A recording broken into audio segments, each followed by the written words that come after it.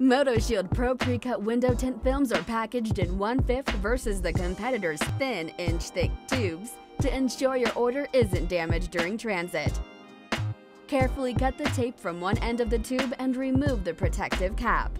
Gently remove the window tint film from the tube and check to ensure all the pieces of window tint film, along with the installation instructions, a quality check form, and a customer satisfaction letter, are all included.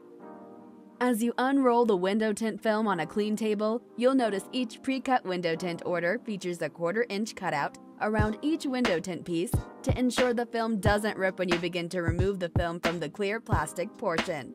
This will also be the best time to inspect film for any potential dents, scratches, and sizing. We strive to guarantee 1000% satisfaction on the performance and quality of our products. If you have any problems installing the window tint film, please contact us via phone, email, or chat. We thank you for your business and hope you enjoy our MotoShield Pro product.